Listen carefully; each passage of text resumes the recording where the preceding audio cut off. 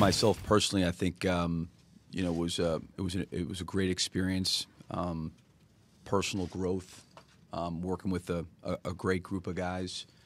Um, I think the front office working with Sam has been been terrific.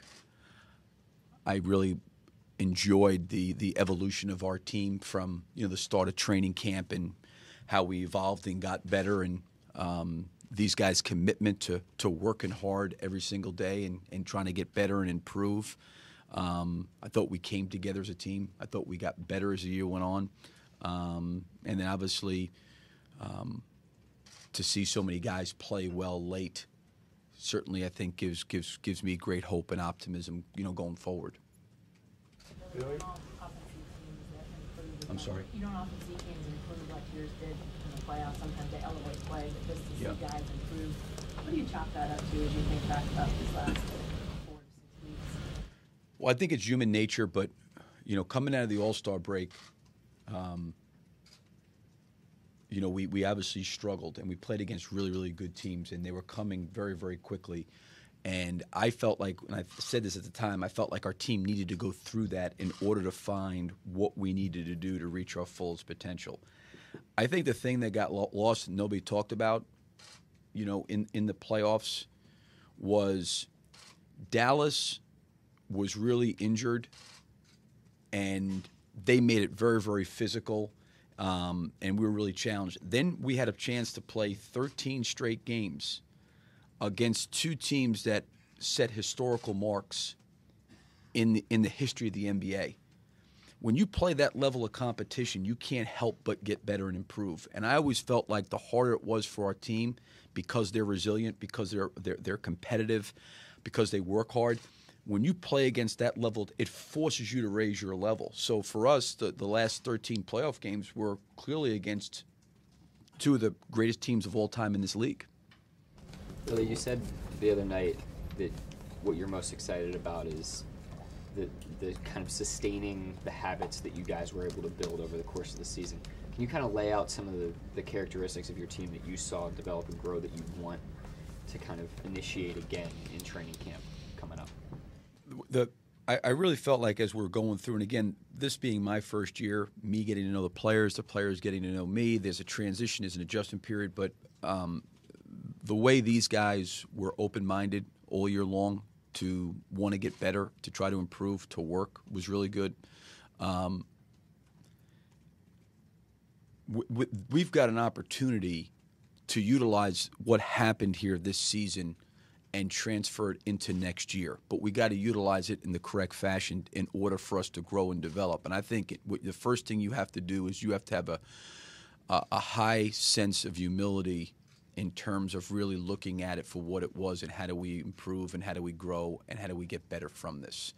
Um, and then being able to come back next year and take the things that helped us evolve into a team that was playing very well at the end of the year and try to pick up from that point and try to continually grow and evolve again.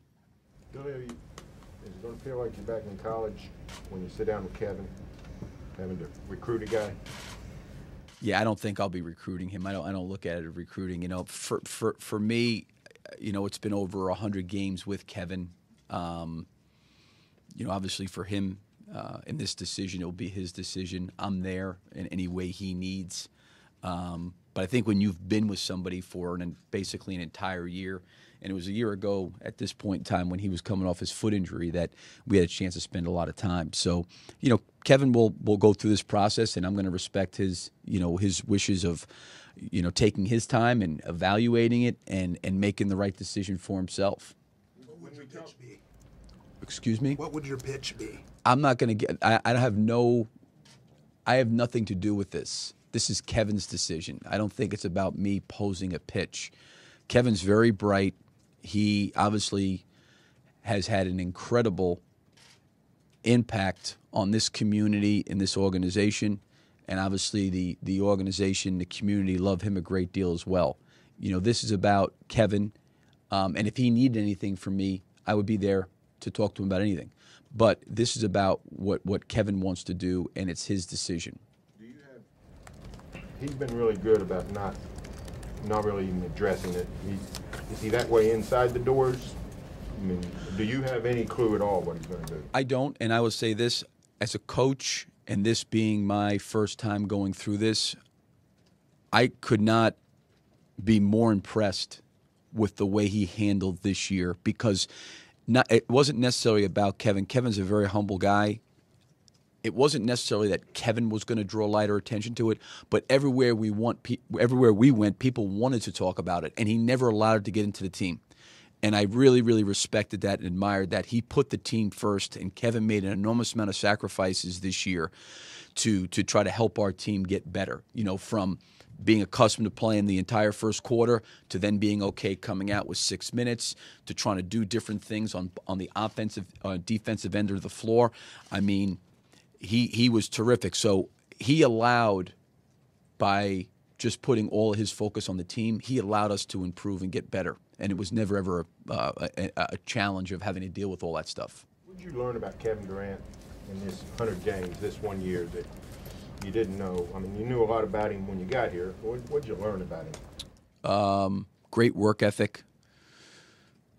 I think deep down inside, he's got a lot of composure and poise. Um, I think he's continuing to evolve as a leader.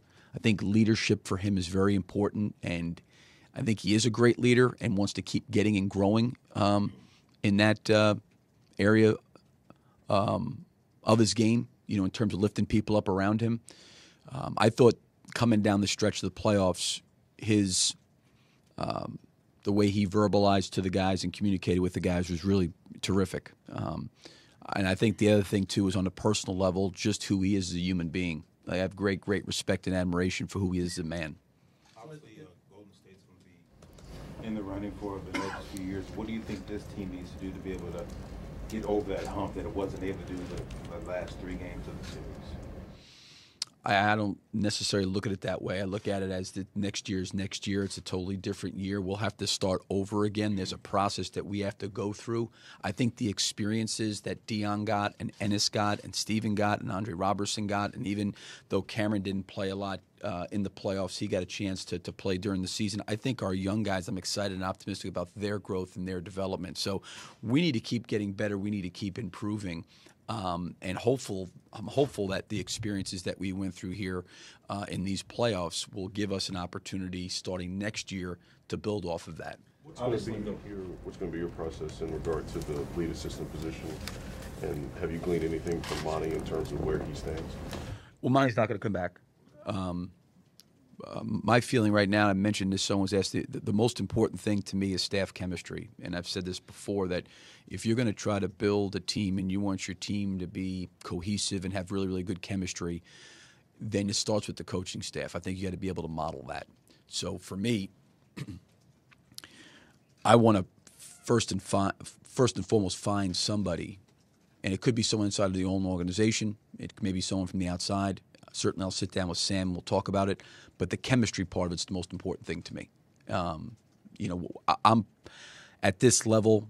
There, there's plenty of really, really good, competent coaches, X and O wise. But to me, it's so much deeper than that because if you don't have good staff chemistry, the length of the season, it's it's it's too hard. We, we, that's got to be the first part. It's got to be someone that really fits in. When do you start that? When do you start contacting people, or, or has? Um, yeah, I mean, I'll probably start to sit down. I mean, obviously, just getting back in yesterday, I haven't had a chance. That's certainly something on my plate that I've got to deal with. Um, but I'll start to to evaluate that and you know talk to Mo and talk to Mark Bryant, Darko, and guys on our staff, and really try to find, you know, figure out what we need to help us grow and help us get better as well.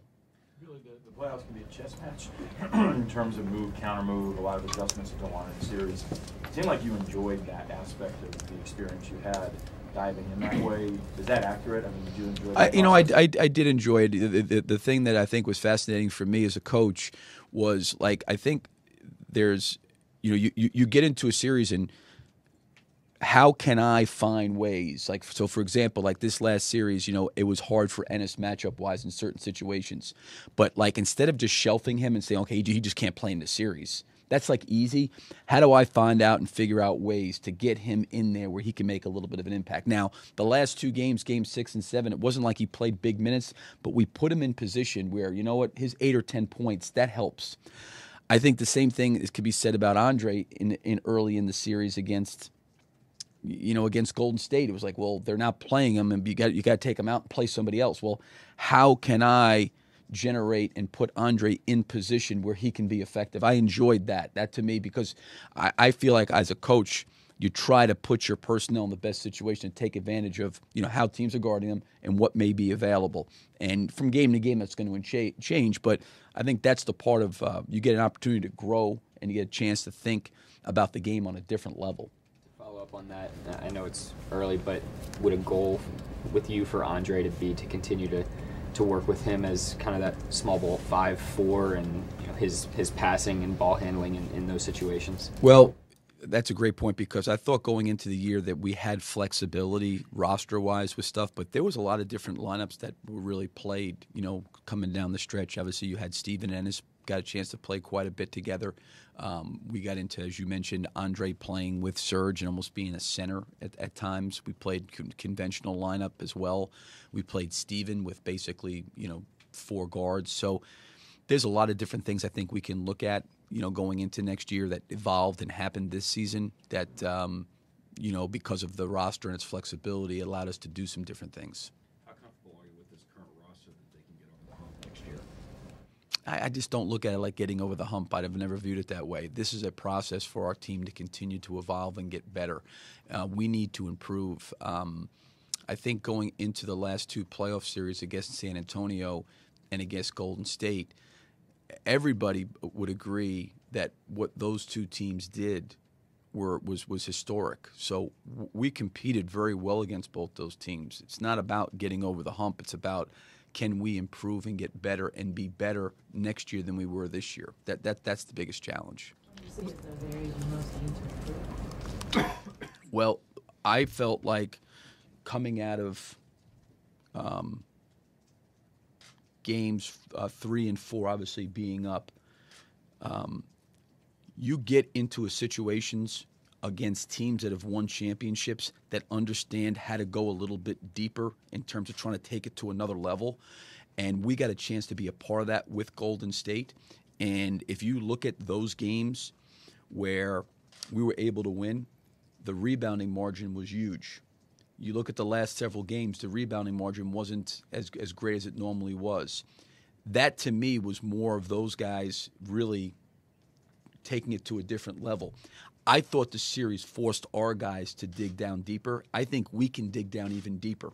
And we can be, the more you get challenged and pushed like that, I think the more you have a chance to grow and flower. So that's what it's to me. It's it's it's going through where, you know, in order to evolve into the best you can be, you have to endure and sometimes the endurance of going through painful losses and struggles and those kind of things uh, that that endurance allows you to evolve into maybe as we talked about getting over the hump or the next step. It's it that's what you got to do. You got to endure this to take another step. And and I think can we come back next year with the mindset okay we got to start over again in this process of trying to you know build back up? But I'm very optimistic about these guys you feel like uh, this is a team we saw a lot of ups and downs in the regular season yeah. It was more of an up trajectory in the playoffs. Is this a group that can do that trajectory throughout the season? And that may be one of the things that will come out of the growth of these playoffs? Um, you know, probably with me being new um, this season, you know, if you were to draw a line of progression, it probably was, you know, up, down, up, down, you know, and that's the way it normally goes. I don't think it's ever just – smooth sailing all the way up. I mean, like, listen, even in the playoffs, I mean, the game one against San Antonio, we lost by 30. You know, we, we played pretty well against um, uh, Golden State in game one and find a way to win the game. We come back in game two and we get, you know, blown out. So you're going to have those moments. Um, but the trajectory of our team is sometimes you got to take some steps down before you can go back up. And I think that happened. But again, for me being new and going through this with these guys and us getting to know each other and during that process, I think that always takes some time. Billy, anything that kind of surprised you about the pro game coming from college that maybe you weren't expecting this year?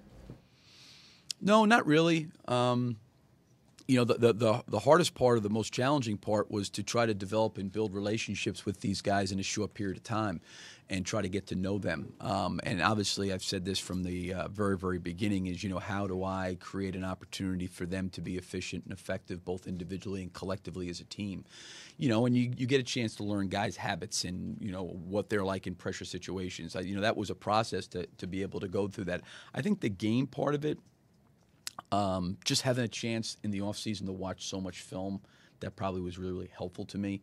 Um, but I, I felt like because of the preparation of the people here with me, I felt like I was really, really prepared when the season started. Um, and the biggest thing for me was going to have to be getting to know the players and tinkering with different lineups and trying different things and taking some some risks lineup matchup just just to get a feel of our team because you can watch it on film, but when you start coaching them, you got to kind of get a feel for yourself as well. Russell's first team All NBA, arguably his best season. Where did you see him improve most from the beginning to the end?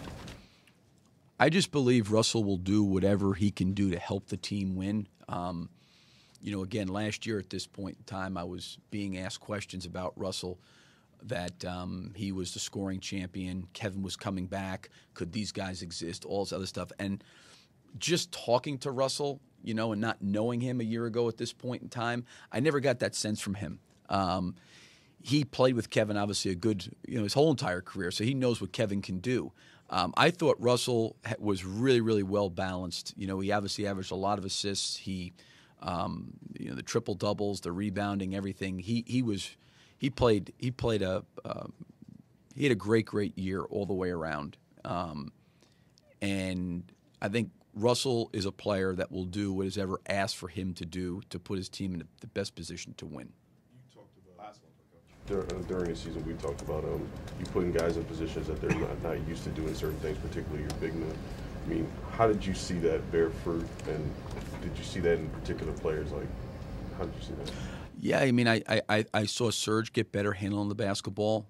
You know, Enes Kanter being able to, to stretch his range and shoot three point shots. Um, to see Steven the way he evolved in terms of rolling to the basket and and he and Russell connecting on a lot of lob dunks. Um, his post up game had gotten better. Um, I thought his transferring of the ball from one side of the floor was was very very good. Um, you know, our big guys really got better, and obviously Serge has been here for a while, has been a key component to the team. But I think when you look at Enes and you look at Steven, those guys being relatively young, um, it was good to see them evolve the way they did. Thanks, Coach. Thank you. I appreciate everybody this year. You guys were great this year to work with, so thank you. Coach.